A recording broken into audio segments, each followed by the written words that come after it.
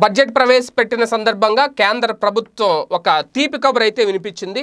బ్యాంకులో అకౌంట్లు ఉన్న వాళ్ళందరికీ. ప్రస్తుత పరిస్థితుల్లో బ్యాంక్ అకౌంట్ లేని వాళ్ళు ఎవరు ఉండరు. ఎందుకంటే ఎప్పుడైతే జన్ధన్ ఖాతాలని చెప్పి ప్రారంభించారో సో ఆల్మోస్ట్ అందరికీ కూడా బ్యాంక్ ఖాతాలు ఉన్నాయి. ఈ నేపథ్యంలోనే ఒక తీపి కబురు అయితే వినిపించింది.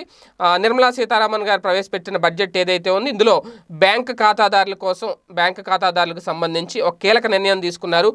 బ్యాంకు డిపాజిట్లపై చేసే ఇన్సూరెన్స్ ఏదైతే ఉందో ఆ ఇన్సూరెన్స్ పరిమితిని భారీగా పెంచబోతున్నారు ఇక నుంచి. అంటే ప్రస్తుతం బ్యాంకు డిపాజిట్ల మీద లక్ష రూపాయల వరకు మాత్రమే ఇన్సూరెన్స్ లభిస్తుంది. అయితే ఇప్పుడు ఆ డిపాజిట్లకు సంబంధించి ఇన్సూరెన్స్ పరిమితి ఏకంగా ఐదు లక్షల వరకు పెంచుతూ నిర్మలా సీతారామన్ ఒక ప్రకటన చేశారు బడ్జెట్ సమావేశంలో భాగంగా.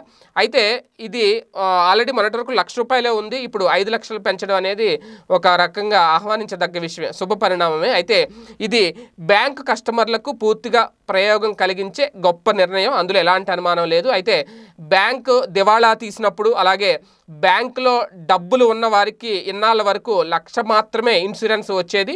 ఇక నుంచి మాత్రం ఐదు లక్షల వరకు ఇన్సూరెన్స్ లభిస్తుంది అయితే బ్యాంకులో అకౌంట్ కలిగిన వాళ్ళందరికీ కూడా ఈ లాభం చేకూరుతుంది అన్నారు. ఒక రకంగా బ్యాంకు ఖాతాలు ఉన్న వాళ్ళందరికీ ఇది గుడ్ న్యూస్ అనే చెప్పాలి.